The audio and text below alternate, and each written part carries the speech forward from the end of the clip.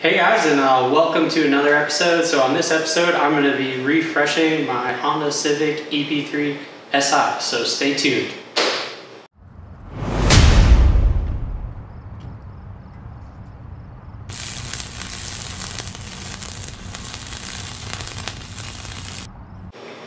So if you've been following the channel for any time, you know that I bought this Honda Civic EP3 SI about a month, month and a half ago, and I've been dri- driving it pretty much every single day other than the short time that it was kind of out of commission for that uh, clutch safety switch. Uh, but it's been a really great commuter and the car is actually in like immaculate condition.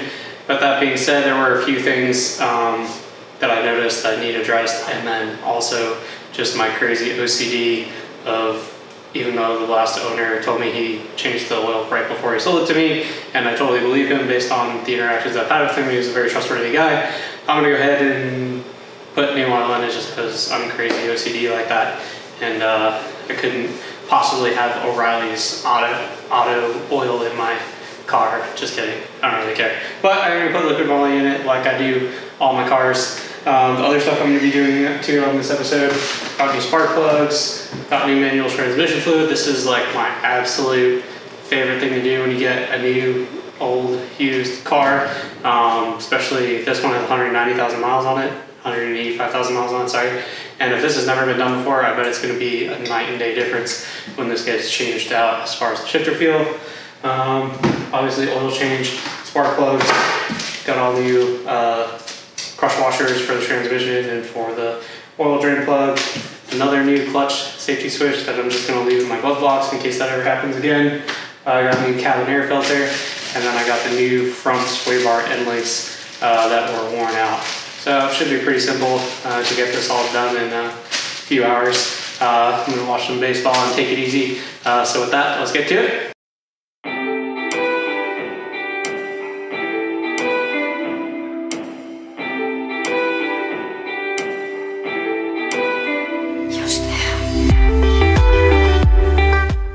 Change the transmission fluid, I ended up removing the wheel, although I don't think it is necessary to perform this job.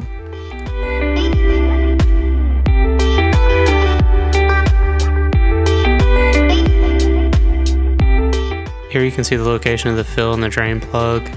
Smartly enough, the drain plug is just a 3 8 ratchet, since there's not much room between it and the frame rail.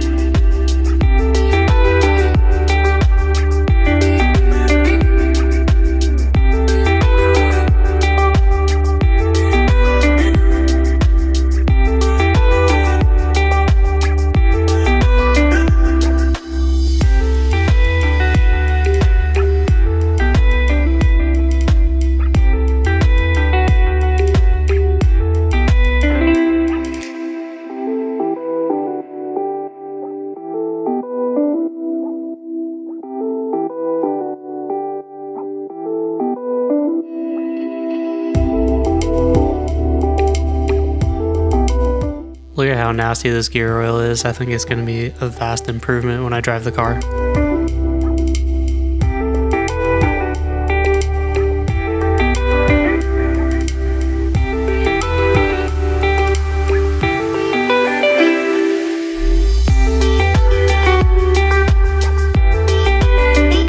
Both the drain and fill plugs have replaceable crush washers.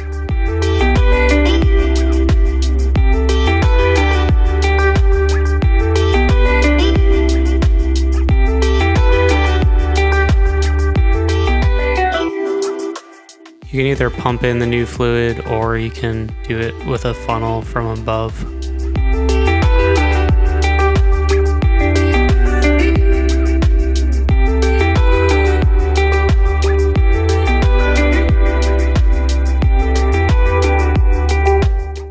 And this is exactly why I trust but verify what people tell me about cars, because this oil is definitely not just changed.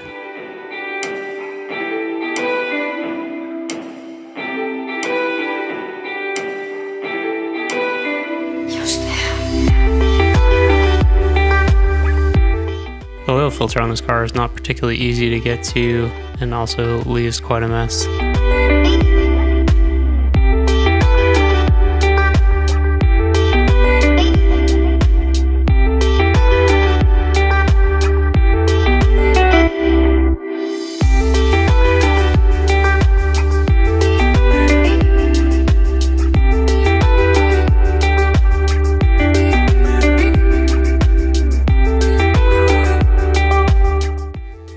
There's always that one stubborn bolt.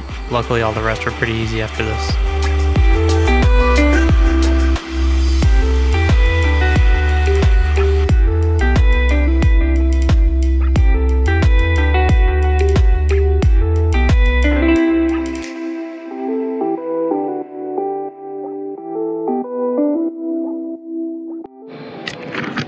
So here's the new versus the old one. Um, you can see how cracked that boot is. Any fluid those in there has long been gone on that one, so hopefully this will improve the just uh, solidness of the front end, hopefully quite a bit. So these are the new ones. Um, there's a different part number for the two sides, so that's why I just made sure I I matched up the right one and I guess this was the 50 50 90 that you actually got it right. This is the right side for the driver's side. This will be hopefully for the right one for the passenger side. These uh, were quite challenging to get off for a Texas car. They were pretty rusty, so if you're in a northern state, good luck to you.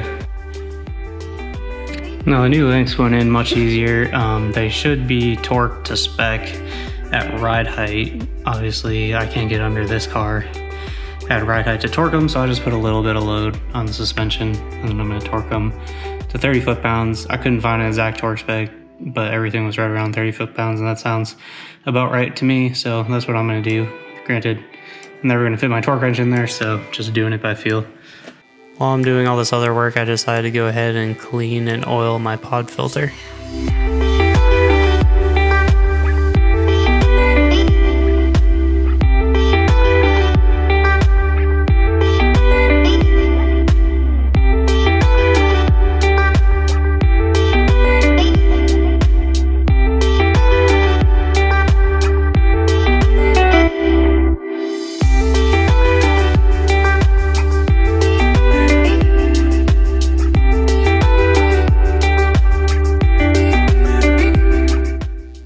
Changing the spark plugs on the Saab and 911, the Volkswagen and this K20A3 are such a refreshment. Both of them are the easiest spark plug changes I've done in a long time.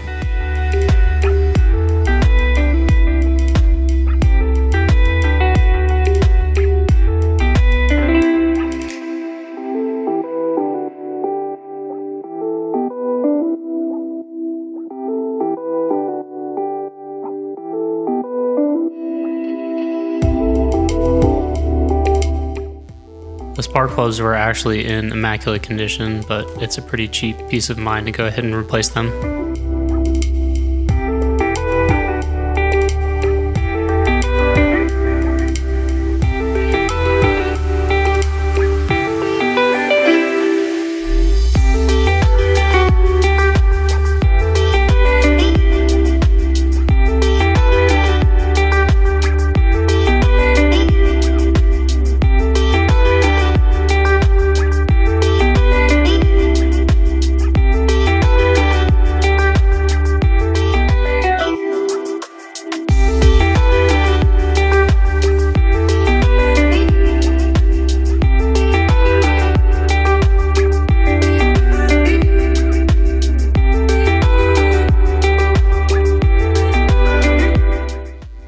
German oil in a Japanese car. Hopefully, this isn't a bad omen, although I guess the car was designed in Frankfurt.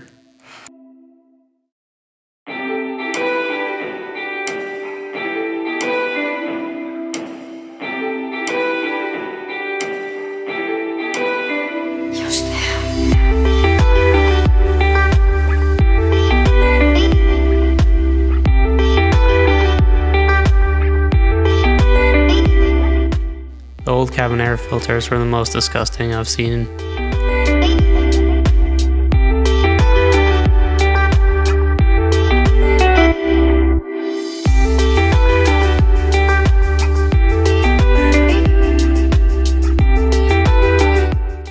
The plastic cover for my cabin air filter was missing, so I used some aluminum ducting tape to close it off.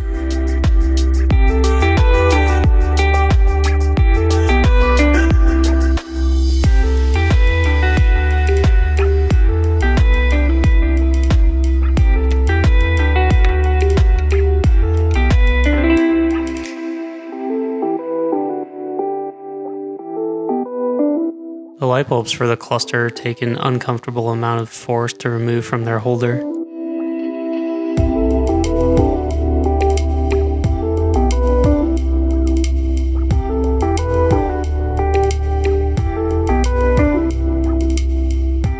I'm definitely going to appreciate being able to see my gauges at night now.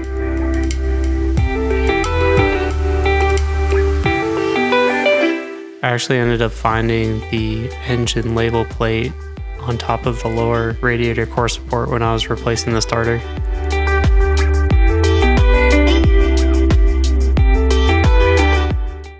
So that's a wrap on another episode. Uh, unfortunately, I had to wait till the next day to take the car for a drive just because the air filter wasn't drying out. And I wanted to make sure it was really dry before I oiled it. Uh, so I waited till the next day, but I just got done taking the car for a short drive and it's like, oh my God, what a night and day difference. It's amazing how some like cheap parts and just some like TLC can make a car feel like so much different because just those like cheap sway bar links made the front end feel so much more solid. It's not clunky over bumps like it was before. Um, it just doesn't have any looseness in it anymore. So that was a awesome improvement for a relatively low cost. I think it was like $25 for each side, so like $50 for a sorted solid front end. I'll take it any day. And then also the shifter feel is like a thousand times better. It's so much more smooth and removed all the notchiness that I had before. So another cheap fix. It's pretty amazing that like it really costs pretty much no money to like completely get this car up to like a high standard. It's maybe not perfect, but it's good enough for me because I think it was like $150 all for the parts because it was like $50 for both sway bar and links. Um, it was probably like $40 in oil, maybe $10 for an oil filter. Uh, $25 for the spark plugs. It was like $20 for the cabin air filter, the light bulbs for the cluster. The previous owner gave me for free. So yeah, for really not that much money, the car is like pretty much pristine now. Uh, so, or at least it's mechanically pristine. Uh, so yeah, looking forward to putting some more miles on it. Um, I hope you guys liked this episode, and uh, as always, if you really liked it, then uh, go ahead and like subscribe, and uh, stay tuned for next time. Not really sure what I'm going to be doing. Maybe some Alltrack content, or maybe finally starting to work on this uh, over here. Uh, anyways, see you next time. Bye.